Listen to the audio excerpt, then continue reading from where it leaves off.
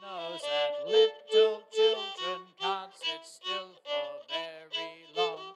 So we'll praise him by our actions as we sing this merry song. Dance for Jesus all around. Clap your hands, make a great big sound. Jump for Jesus everywhere, and then come out and find your chair. I was jumping so hard that I turned off the screen. Hello, everybody. How are we going? All right, lots of kids. Good to see you back, Mia Lily. Haven't seen you for a little while. Haven't seen you guys for a little while either. Hey, welcome back. All right. This morning, we're going to read the Bible together and talk a little bit about what it says. And what have we been talking about? Jesus has been going around telling everyone about the kingdom of God. And so let's read that verse together. The time has come, he said. The kingdom of God has come near. Repent and believe the good news. Excellent. All right. So we've been working our way through the Gospel of Mark and reading different things. What was the story last week? Who can remember? Who can remember? Dorothy can remember. Oh, gee, I tell you, I work so hard on these kids' times and you forget them straight away. What was it? Jesus was walking on the water. That's right. We talked about that last week. Yeah, that's what we talked about. And rem- I don't need that, buddy. And so we were floating some uh, paper clips on the water. Do you remember that? Okay, very good. Well, this story is the next story along. Some people have come to ask Jesus some questions to check him out and to criticize him and to find out what he's about. Because Moses uh, Jesus has become big and famous, and so the religious leaders want to know what he's all about, and they're looking for an opportunity to have a go at him. Do you have a go at people sometimes? You criticize, and sometimes we do, don't we? Hey. All right, so this one's a big one, some tricky words. Who'd like to read the big one with the tricky words? Oh, Celeste. All right, we'll start with Celeste. I'll come back to you in a second. The Pharisees and some of the teachers of the law who had come from Jerusalem gathered around Jesus and saw some of the, his disciples eating food with hands that were defiled, that is, unwashed. Hey, excellent reading. So, defiled, defiled hands. It means not just that they were unclean, but that they were defiled means they were, they were, they were wrong. They had wrong hands. And the teacher of the law got upset about this. So, Mark, because he knows we don't really understand some of these things, he explains some of these things to us. So, who'd like to read one of the explanations? You going to read? Get your hand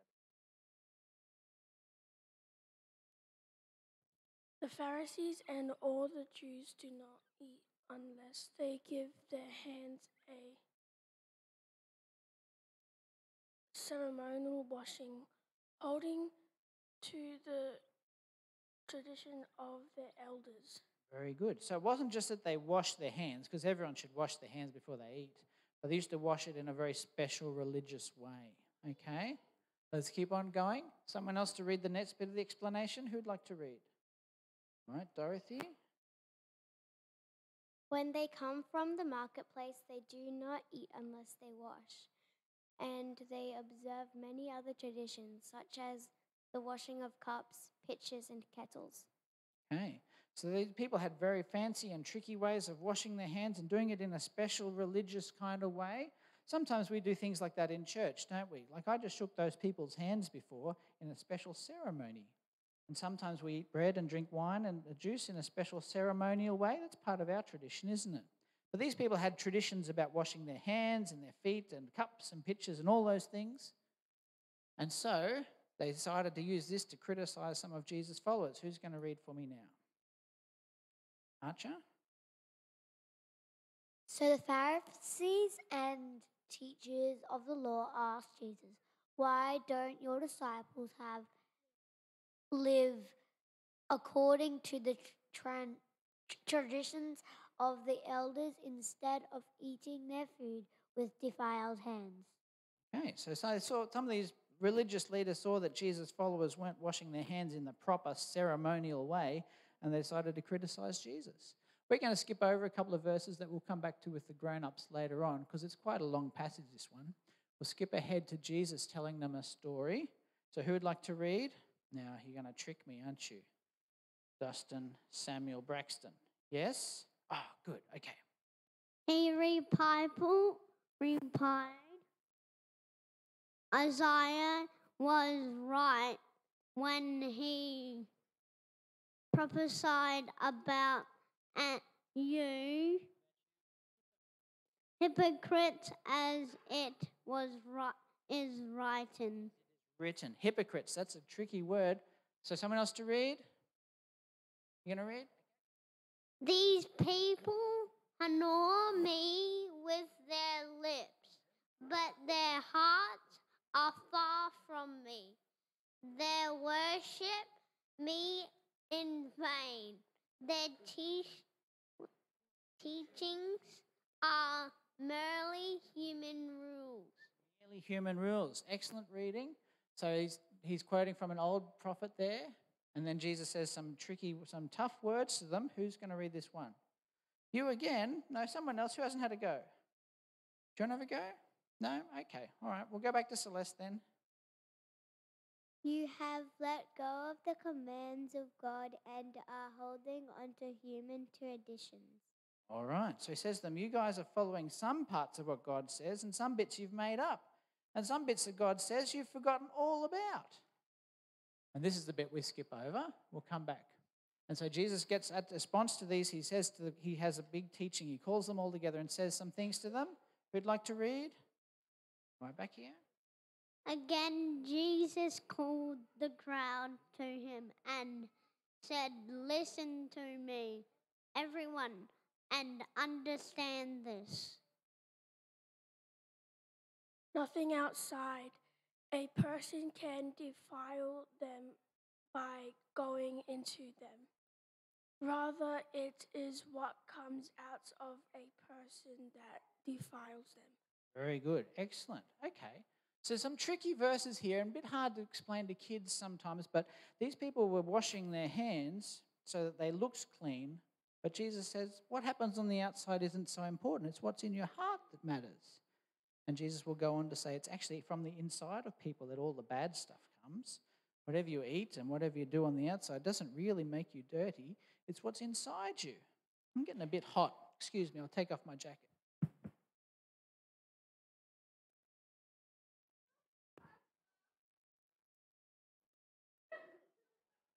What?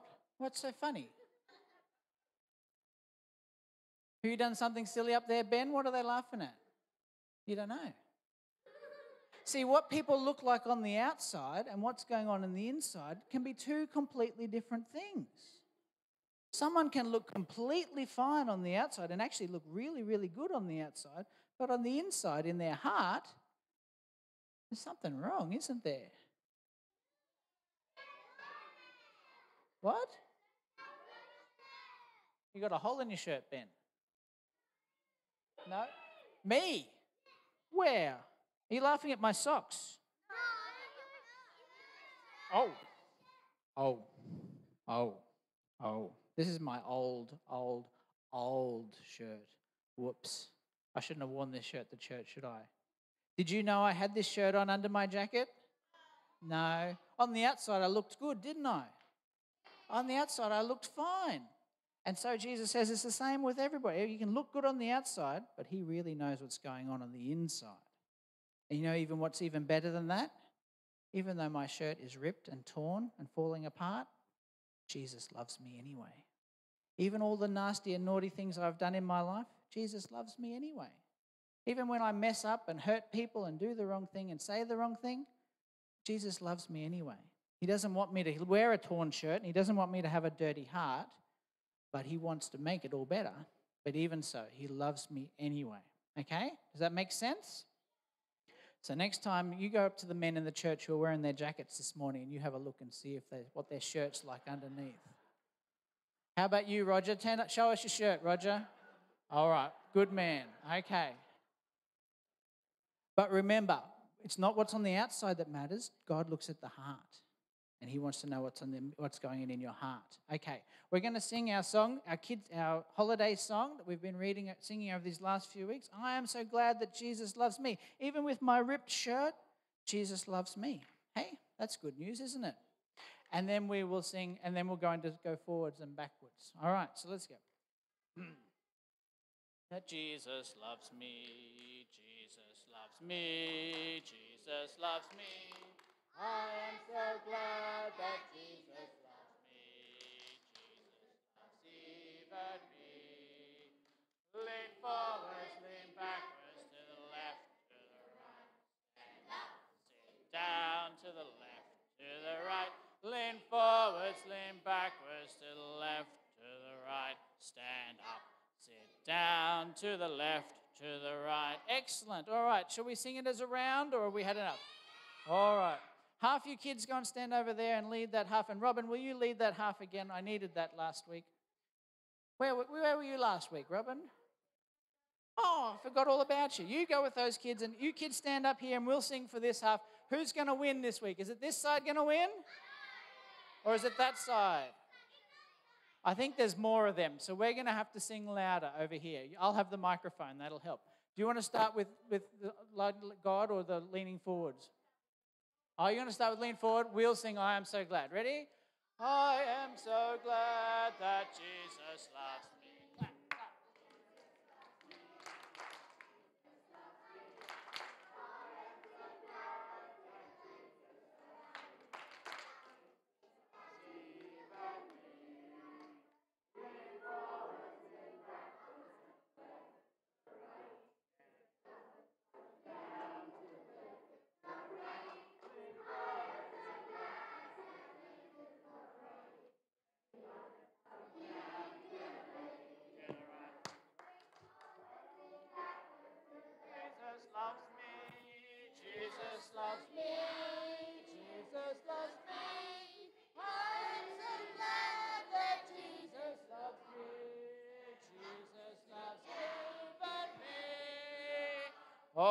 excellent, wonderful, good singing.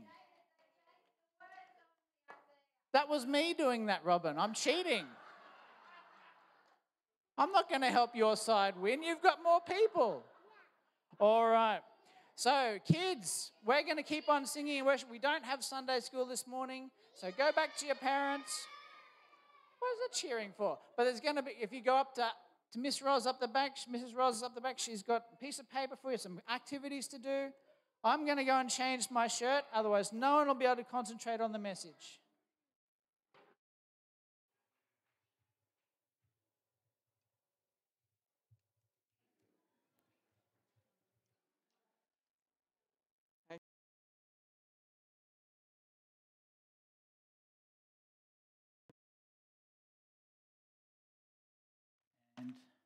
Yes, that's all I'll say about that. It's my great privilege to be your pastor this morning and to get to know folks and the highs and the lows and all the things that happen with that. It's my great privilege to be involved with people. If you're visiting, uh, if you this morning haven't got a copy of our sermon notes, please put your hands up. Some of the young ladies are handing them out there so you can follow along with what we're talking about. Let's pray. Father God, as I stand to speak to these people this morning, I pray that you would quieten my heart and help me to hear your voice. Father God, this morning I want to say your words, not my words. In the name of Jesus, I pray. Amen. Amen.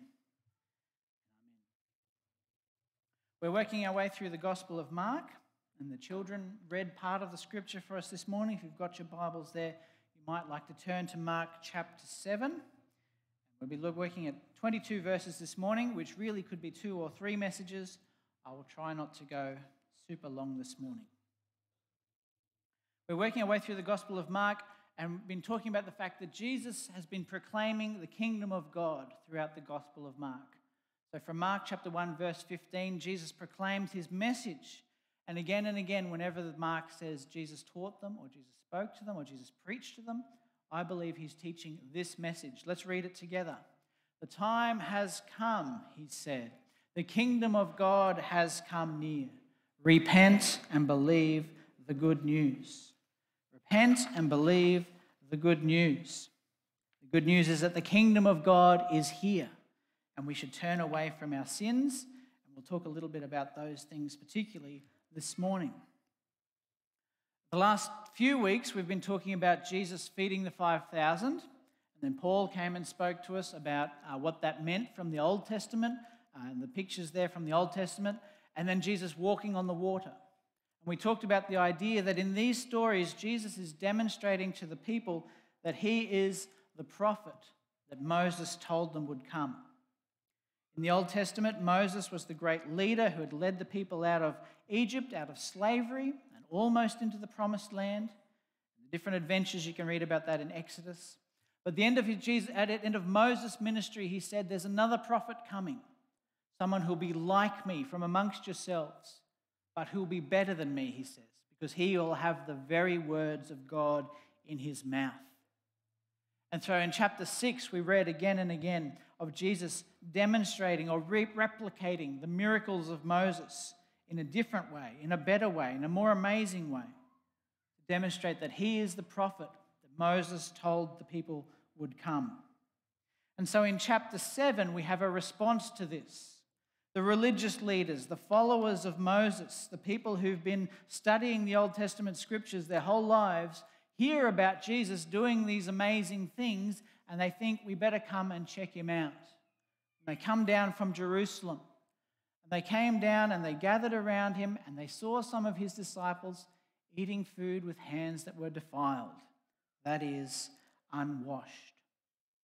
This to them was an indicator that Jesus cannot possibly be greater than Moses. He can't be the prophet because his followers aren't following all our religious rules. They're not washing their hands in the right way. It's not that they had dirty hands while they're eating, they just hadn't washed them in the ceremonial way. And Mark, Mark and Matthew both tell this story.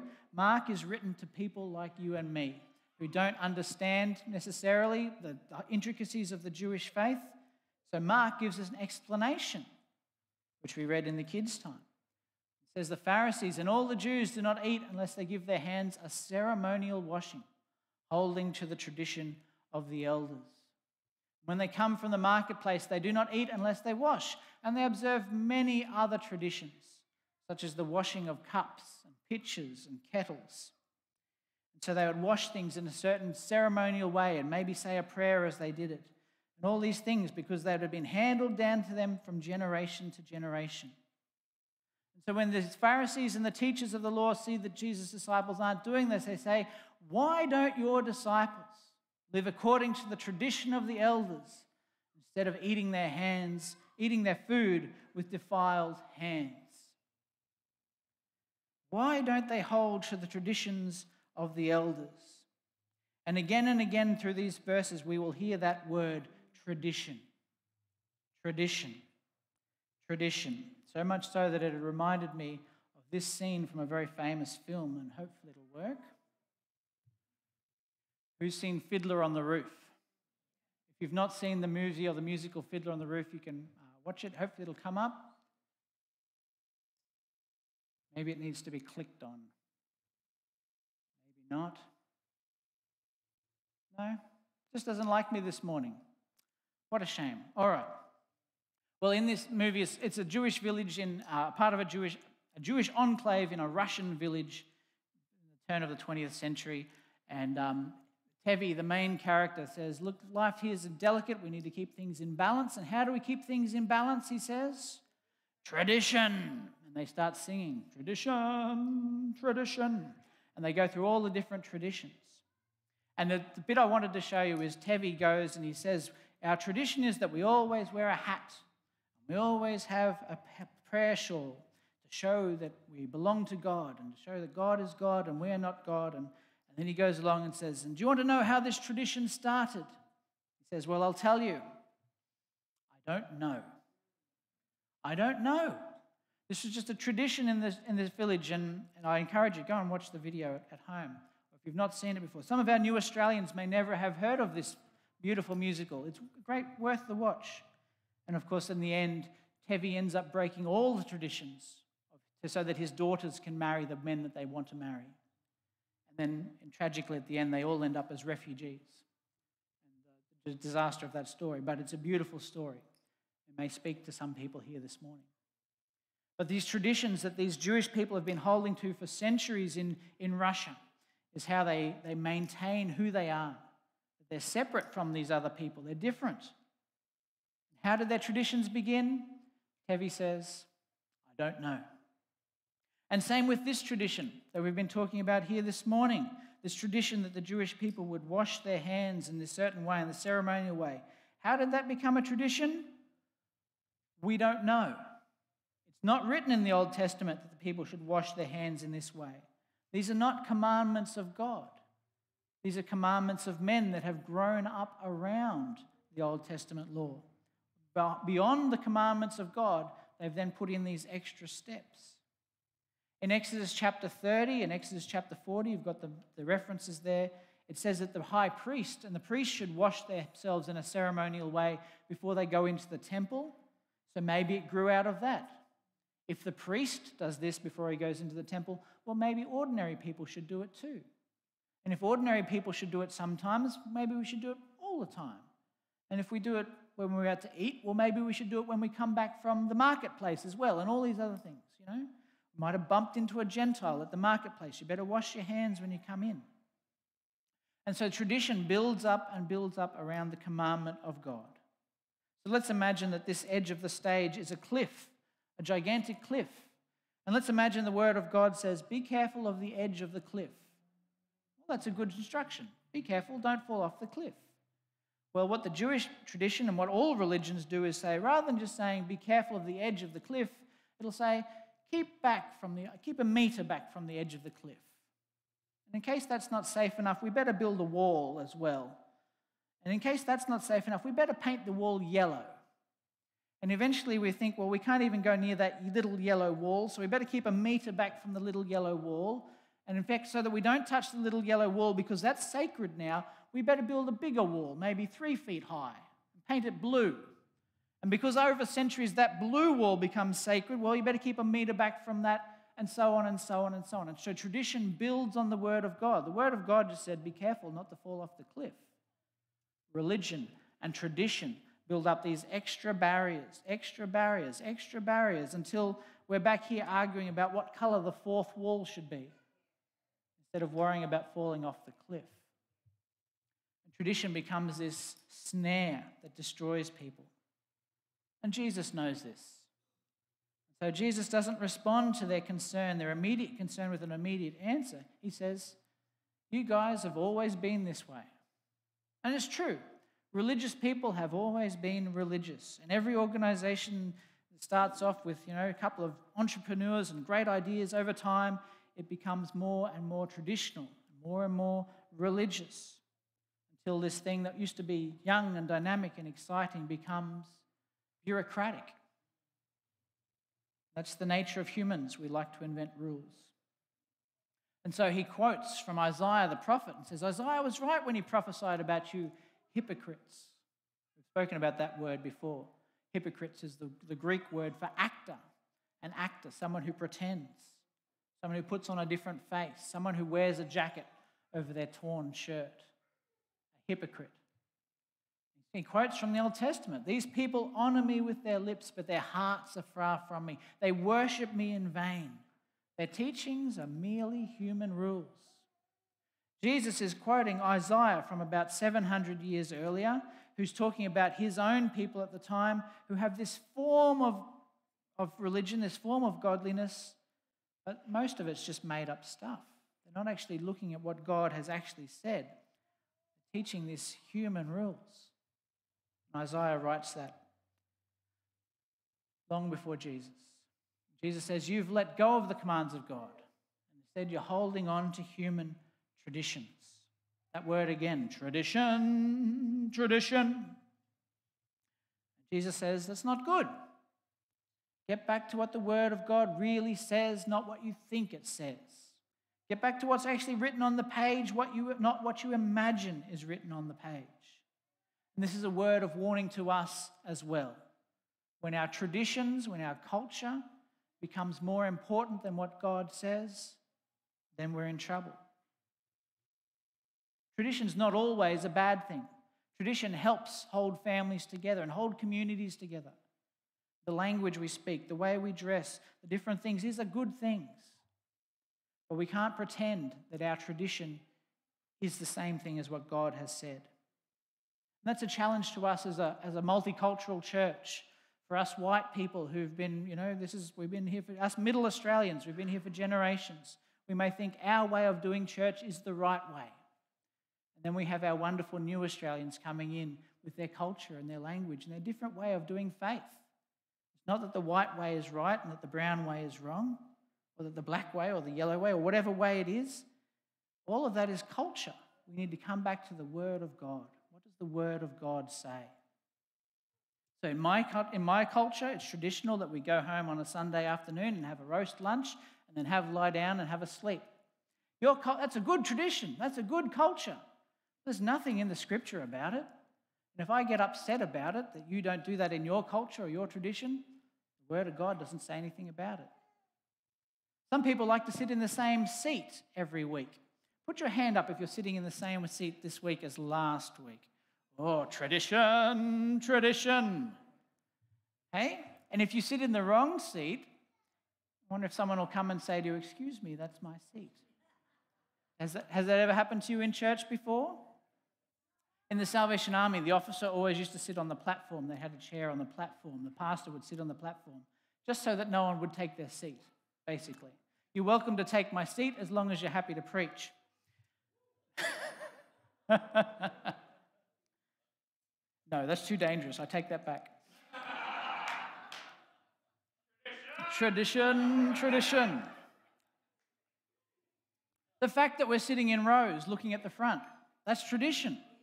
That grows out of our revivalist heritage from the 1860s, 1870s, when churches like the Wesleyan Methodist and the Salvation Army and our revivalist holiness churches started. We imitated the music hall. The music hall was we'd have someone on stage singing and dancing, and people would sit in rows facing the front. And so when we started churches, we did it in the same way. It's not always been the way. Sitting in rows facing the front, that's not how, it's not in the scriptures, doesn't say we have to do that. That's tradition. And there are many, many other ways of talking about this. But Jesus points at one of their traditions and goes on. We didn't read this part in the kids' time because it's a bit complicated for little kids. It's even complicated for me. But Jesus says to them, You have a fine way of setting aside the commands of God in order to observe your own traditions.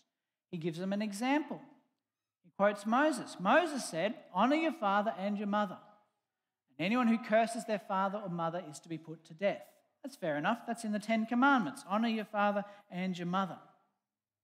But then he goes on and says, But you guys have made up this extra rule. You say that if anyone declares that what might have been used to help their father or mother is korban, that is, devoted to God. The korban is the Hebrew word there for a gift or an offering.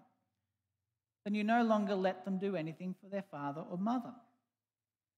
See, the Jewish obligation was when mum and dad get old, the, the children should care for them and look after them. But the Pharisees and the teachers of the law had said instead of giving your mum and dad a bit of money to look after, what you can do is say, oh, actually, this money, I'm going to give it to God. I'm going to keep it aside for a sacred purpose. Mum and dad, you're just going to have to make do with what you've got. But of course, they would never actually give it to God. They'd wait for mum and dad to die and then say, oh, what a shame, I'll take that money back. And Jesus looks at these guys and says, You guys have invented this really elaborate way of cheating your own parents. And then you pretend that it's religious, pretend that it's holy, pretend that it's good. And he says, Thus you nullify the word of God by your tradition that you've handed down. And you do many things like this. And Jesus gets annoyed at these religious people. In fact, the people that Jesus gets most annoyed with again and again and again in the Gospels are religious people. They're the ones who annoy him the most. So he takes this example and says, You've nullified the word of God. God says, Look after your mother and father, honor them. But you religious leaders have made an excuse around it. You can get around it and get your money back when mum and dad are dead. And he says, That's just nonsense. That's not how God wants you to live. And so he begins criticizing them and pointing this out. This is their tradition. Tradition is making the word of God of no effect. And so, in response to all of this, Jesus calls all the people together and he gives them a parable, a simple story. He called the crowd to him and said, Listen to me, everyone, and understand this. He's saying, Pay attention, this is important. Nothing outside a person can defile them by going into them. Rather, it's what comes out of a person that defiles them. Now, that doesn't seem like a big deal, but to a Jewish person, this is a massive deal. Nothing outside a person can defile them by going into them. Rather, it is what comes out of a person that defiles them. Jewish people in their religion have so many rules about what you can eat and what you can't eat, what you can touch and what you can't touch. If you touch a dead body to carry it to the grave, you'll be unclean for so many days. If you interact with your wife or husband, you'll be unclean for so many days. If you do this or they do that, there's so many rules. If you eat this and you shouldn't, there's so many rules about all this stuff. And Jesus comes along and says, actually, not quite. That's not how it works. That would have been really shocking to the religious leaders and the people listening to him. Particularly when we think about, for instance, the book of Daniel. Do you remember Daniel? Daniel has whole chunks in there about Shadrach, Meshach, and Abednego, the guys who were thrown into the fiery furnace. Why were they thrown into the fiery furnace? Basically, because they wouldn't eat the meat that was given to them by the Babylonians. They didn't want to eat their non kosher food. They said, We'll just eat vegetables. And they set themselves apart and all the rest of it. And they set apart and they, they, did, they became heroes for refusing to bow down to the way the culture around them lived. And the Jewish people held them up as great heroes. Jesus comes along and goes, actually, it's not so much about what you eat and don't eat. That's not the problem.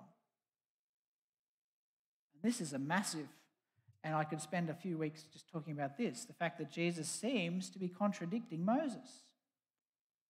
We've talked about that a few weeks before that Jesus has come along and fed the 5,000 and walked on the water and done the things to demonstrate that he is the new prophet, the prophet that Moses said would come along. And then in this one little verse, it's almost as if he's taken a red pen to almost most of what Moses, has written in the Old Testament and crossed it out. Is that what he's doing? Is that the implication? How does that work? And we could have big discussions about what that means for Scripture and which bits of it can be trusted and which parts can't. Ultimately, comes down to this that Jesus is the Son of God. He is the one who has the very words of God in his mouth. So if we ever seem to have an argument between Moses and Jesus, let's listen to Jesus. If we seem to have an argument between Jesus and Paul or James or one of the other epistles in the New Testament, let's listen to Jesus. In reality, they don't disagree with each other. They're not arguing, they only seem to. But even when they seem to disagree, let's listen to Jesus. Let's put him at the center of our faith. We are Jesus followers, not Moses followers. We're Jesus followers, not Paul followers. We want to do what Jesus says. In reality, they're not disagreeing, but Jesus is pointing to the heart of the issue. Nothing outside a person can defile them, rather, it's what comes out of a person. And the disciples are confused by this. They haven't quite grasped it. After he'd left the crowd and entered the house, his disciples asked him about this parable. Are you so dull? He asked. Isn't it clear? Isn't it obvious what I've said? Don't you see that nothing that enters a person from outside can defile them? For it doesn't go into their heart, but into their stomach, and then out of the body. Now, we know, of course, that certain things you eat can affect your heart, cholesterol, and all the rest. But that's not what Jesus is talking about. He's not talking as a scientist, he's talking as a, as a, as a leader of faith. He's saying this stuff that comes in, it doesn't pollute your soul, doesn't, he says. There's nothing, no, nothing you can eat or whatever that defiles your soul. And we know we should wash our hands, particularly in this time of COVID and the dangers out there. We know there are bugs and things that can damage our bodies. But Jesus says that won't damage your soul. It won't damage your heart. It won't damage what's actually essential about you. Because guess what? Your heart, your soul, it's already damaged, Jesus says. He says it's what comes out of a person is what defiles them. For it's from within, out of a person's heart, that evil thoughts come sexual immorality, theft, murder, adultery, greed, malice, deceit, lewdness, envy, slander, arrogance, and folly. He says, These things come out of the human heart. So, what you eat or what you do on the outside, your religious activities, Jesus says you can do all those wonderful religious activities. It won't change what's going on inside. Jesus says everything, something is wrong with everyone. With every human, there's something wrong with us all. A problem of the heart. There's something wrong with everyone. Problem of the heart. Except for one person. There's one person who doesn't have that problem of the heart. You know who that is, Archer? Who is it? Jesus. Absolutely. We believe that Jesus was born in such a way, the virgin birth and, that sort of thing, the whole thing, that he was born that he didn't have this heart problem. He was born as humans were meant to be born perfect clear and pure. God Himself took off, God sent His Son into the world. He took off all of His power and majesty. We talked about that a few weeks ago. And came and was born amongst us and walked among us to show us what God is really like and to show us what we should really be like. Before this disease came into this world, this disease called sin, and infected our first parents and Adam and Eve, and down through the generations, it's infected us all. Something wrong with everyone except for Jesus. And He is the only one who can set it right. So, to finish off this morning, I turn to Romans. I'm not going to read you all of Romans 1, 2, and 3, but this is Paul's great letter, his great preaching, his great sermon about this very thing. Paul takes these words of Jesus and expands them and explains them to us, making it making the whole gospel clear for us. So from chapter 1 he says, "I'm not ashamed of the gospel. I'm not ashamed of this good news about the kingdom of God, because it's the power of God that brings salvation to everyone who believes. First to the Jew and then to the Gentile. For in the gospel, the righteousness of God is revealed, the righteousness that is by faith from first to last. Just as it is written, the righteous will live by faith. As a preacher, I want to add to Paul's words, but I don't have time this morning. Let's let Paul speak for himself. He says, This wrath of God is being revealed against heaven, against all the godlessness and wickedness of people who suppress the truth by their wickedness, since what may be known about God is plain to them, because God has made it plain to them. Since the creation of the world, God's invisible qualities, his eternal power, his divine nature, have been clearly seen, being understood from what has been made, so that people are without excuse. For although they knew God, they neither glorified him as God nor gave thanks to him. But their thinking became futile and their foolish hearts were darkened. Although they claimed to be wise, they became fools and exchanged the glory of the immortal God for images made to look like a mortal human being, and birds and animals and reptiles. Therefore, God gave them over. He lists all the terrible things that these people have done wickedness and evil and greed and depravity, full of envy and murder and strife and deceit and malice. They're gossips, slanderers, God haters, insolent, arrogant, and boastful. They invent ways of doing evil and disobey their parents. Hang on a second. They disobey their parents?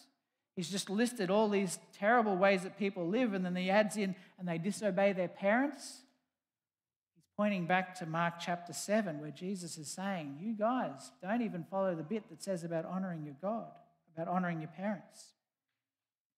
They have no understanding, no fidelity, no love, no mercy. Although they know God's righteous decree that those who do such things deserve death, they not only continue to do these things, but they also approve of those who practice them. So, chapter one, Paul gives this long list of the wickedness of humanity that comes out of our hearts and all the things that are wrong with people. And then in chapter two, and he says, by the way, you guys are no better. In case you're judging everybody outside and saying, yeah, Paul, they all stink. In chapter two, he says, but you have no excuse either. Who pass judgment on someone else. For at whatever point you judge another, you're condemning yourself because you who pass judgment do the same things. We know that God's judgment against those who do such things is based on truth. So when you, a mere human being, pass judgment on them and yet do the same things, do you think how you can escape God's judgment? Or do you show contempt for the riches of his kindness, forbearance, and patience, not realizing that God's kindness intended to lead you to repentance? And he goes on through chapter 2 to talk about the fact that all of us, religious and non religious, people who are Jews and Gentiles, people who've grown up in the church, or people who've grown up in the most worldly situation, we're all affected by sin. It gets into all of us. We've all got this heart problem. And you can read that. I encourage you to read it. And his conclusion in chapter 3, he says, This is what the Old Testament says there's no one righteous, not even one. There's no one who understands. There's no one who seeks God. All have turned away. They've become together, they have together become worthless. There is no one who does good, not even one. Their throats are open graves, their tongues practice deceit. The poison of vipers is on their lips, their mouths are full of cursing and bitterness. Their feet are swift to shed blood. Ruin and misery mark their ways, and the way of peace they do not know. There is no fear of God before their eyes. We listen to that and go, What hope have we got? What hope have we got? That's me. Paul is talking about me. I don't know about you, he's talking about me. And then comes the big but. Verse 21. But now apart from the law, the righteousness of God has become known. The righteousness from God comes through faith in Jesus Christ to all who believe. There's no difference between Jews and Gentiles, between the religious and the non religious, between those who've grown up in the church and those who haven't. There's no difference, for all of us have sinned and fall short of the glory of God and are justified freely by his grace through the redemption that came by Christ Jesus. God presented him, Jesus, as a sacrifice of atonement through faith in his blood. What Jesus said in Mark chapter 7 is that people have got a heart problem, they've got a blood problem. Your blood is no good, there's something wrong with you, it can't be fixed, you can't do anything about it. But Jesus says, But my blood's fine. My blood is good, my blood is pure. I will shed my blood for you. So that what is in your heart can be taken away and destroyed and removed, and you can become like I become. And so Paul, when he's preaching this sermon, I believe he was, I wouldn't hate, I'd hate to be the guy who had to write down as Paul started talking. Would you? To quill and ink and a bit of papyrus, and Paul would get excited and start preaching in the prison cells. And the poor fellow's there on the other side of the window, scrabbling it down. He gets excited. He says, There's no difference. All have sinned and fall short of the glory of God and are justified freely. We're made right with God by the grace of God, by the redemption that came through Jesus Christ problem that Jesus points out to us in Mark chapter 7 is the problem that Jesus came to fix. The kingdom of God being demonstrated is demonstrating the fact that God loves us in spite of our torn shirts that we wear under our jackets, in spite of the dark thoughts that we carry in our minds, and the hatred we hold in our hearts, and the traditions that we cling to. God loves us so much that He sent His Son to die in our place that we could know peace with God. What does Jesus say to do? Repent and believe. Turn away from all these wickedness and all these sinful things and go to Jesus and say, Jesus, I need your help. I can't do this myself. Give me your blood. Give me your heart. Make me new. And Jesus says, Yes. Amen. I will.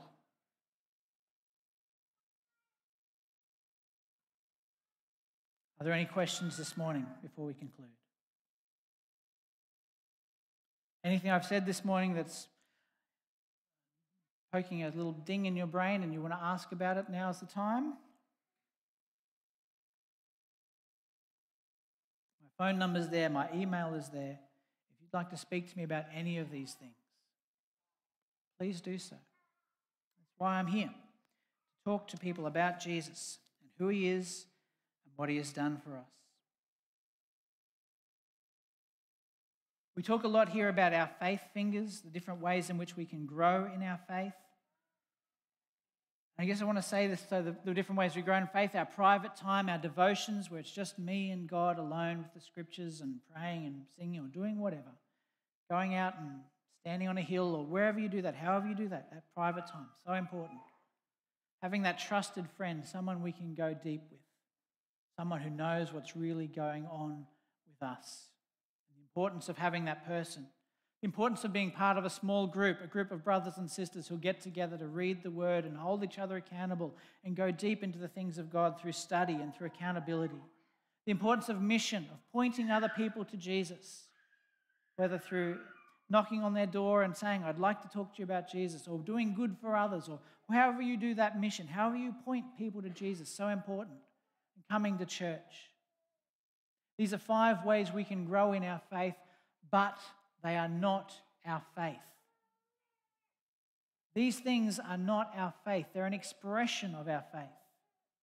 And the great danger of, us, of, all, of all faith movements, of Christianity in particular, is the danger of turning what's real and vibrant and turning it into tradition, turning a relationship with God and turning it into religion, taking the be careful of the edge of the cliff and turning it into 57 rules on how to avoid falling off the cliff.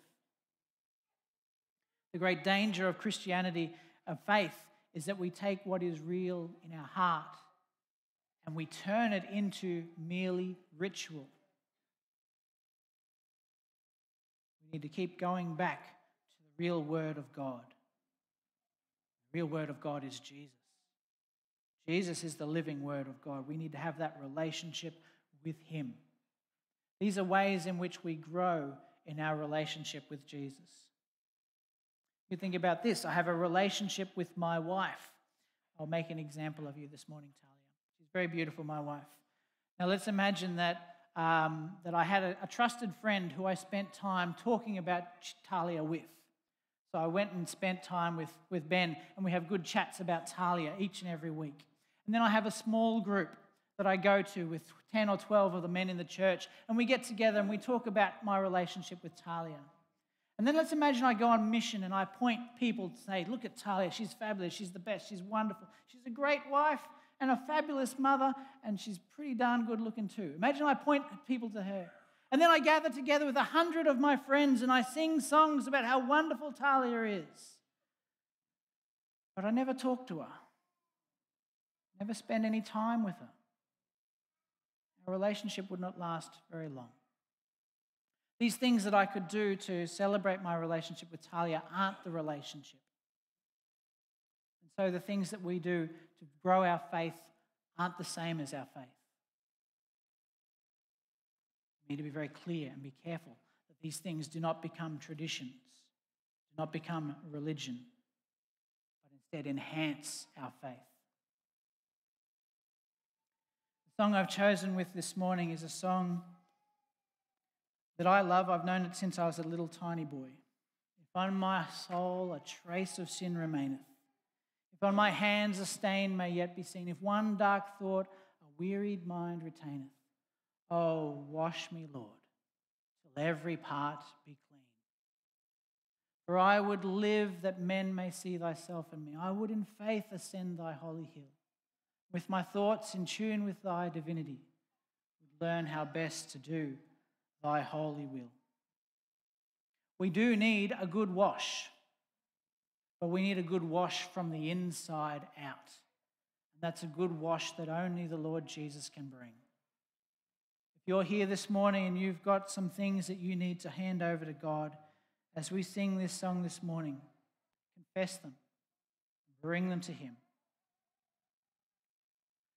If on my soul a trace of sin remaineth, If on my hands a stain may yet be seen, if one dark thought a weary mind retaineth, Oh, wash me, Lord, till every part be clean. For I would live that men may see thyself in me.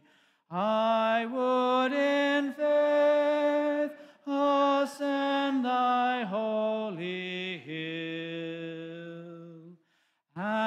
with my thoughts in tune with thy divinity, would learn how best to do thy holy will.